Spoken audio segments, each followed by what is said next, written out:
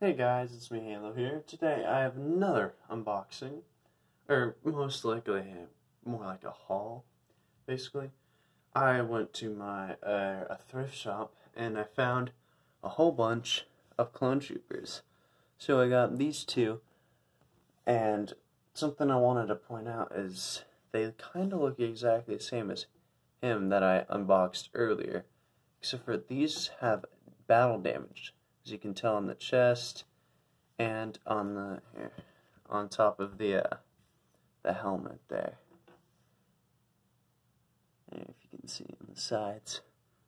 So, you know, getting a army going.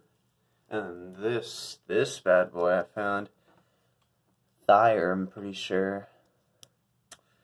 I've been waiting myself to get my me uh, commander here. It looks wonderful.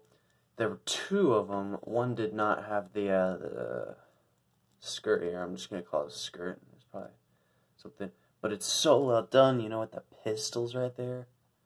Looks really good. And then he has the uh, visor, the binoculars. I don't know. There's probably military terms for all of them, and I do not know. So, that was a huge steal. And also, some similarities with these two again. They these ones they have like the uh, the antenna mold, so the antenna could go onto him as well. So, uh, you know, that's something. That's something. And then the main attraction here, I found this bad boy. It was in this plastic container here. So, and it's brand new. Um, hasn't been unboxed before. And I think they just put this sealing over it to protect it, which is really smart. Whoa, I just noticed. I don't know if that's just me, but that looks yellow. Yeah, you can. I don't know. So opens up like this here. Sorry about that. And it opens up like this. So, you know, that's neat. Oh yeah, the pricing. So this one costed $19. The captain here costed $7.99. And then both of the troopers costed $5.99.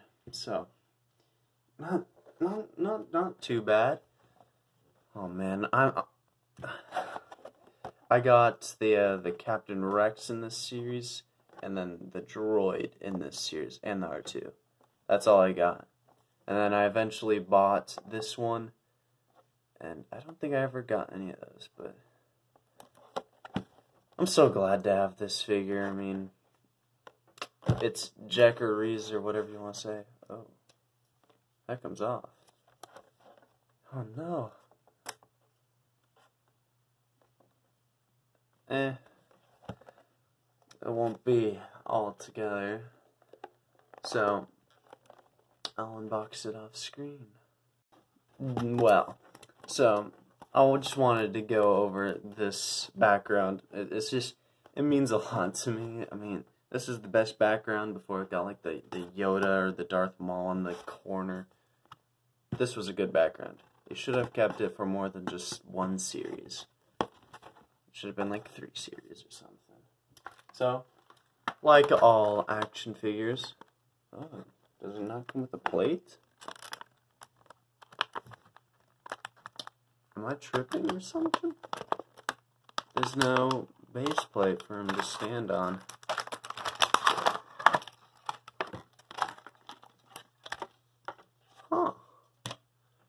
That, that, that's interesting. There, there's no...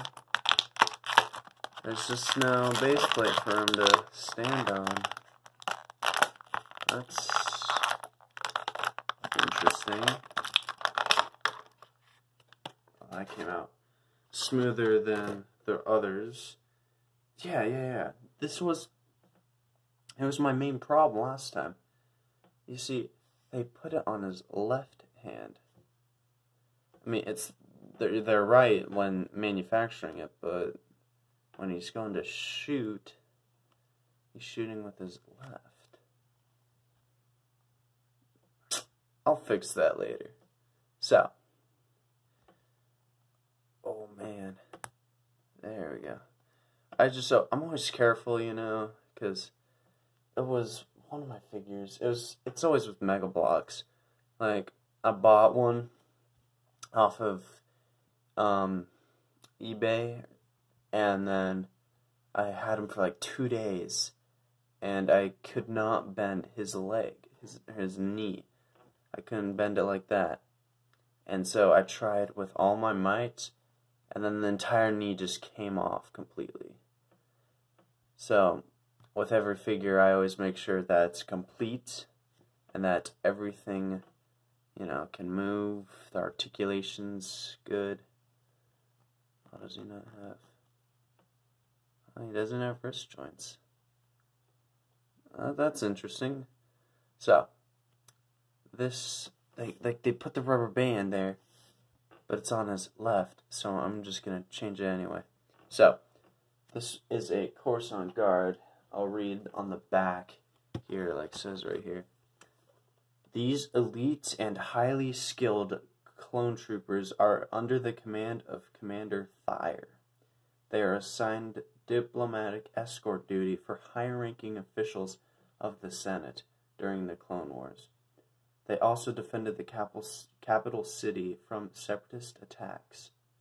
So, you know, the invasion of Coruscant. So it says StarWars.com exclusive. Uh, don't know what don't know what that means. Eh. So, for some odd reason, he doesn't come with a base plate. I'll just use the uh, the old 501st one that I had gotten earlier. So, I've got Thire and his trooper, the gang. So, both of their paint are basically exactly the same. His is a symbol, his does not. Interesting. His shoulder plates don't come off like the the 501st trooper here. Yeah, I glued I glued the thing on so it wouldn't pop off because it was pointless. I thought it would have like the um focus there. Thought it had the um imperial logo underneath it. All right, back to the figure. Eight minutes crap. So his helmet does not come off, and the articulation's pretty pretty standard for Clone Wars clone. He has outward on the shoulders, inwards. Oh, wrong way. Just don't don't want to break him. Don't want to break him. So he's not yellowed. None of these are yellowed, thankfully. Um, some do have battle damage, but that will be fine. Yeah, let me try to get these guys standing in the background for you guys. I always use stands because my table is pretty shaky and they just fall over like mad.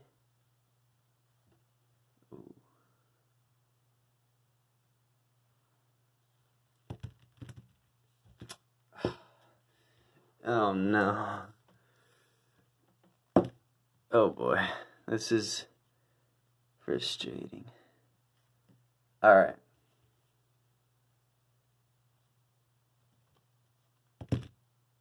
I give up. I'm cutting that out. So. So, this figure's pretty nice. I enjoy him a lot. I love the Clone Wars. Very good. So, hope you enjoyed this little unboxing. I'll see you all later.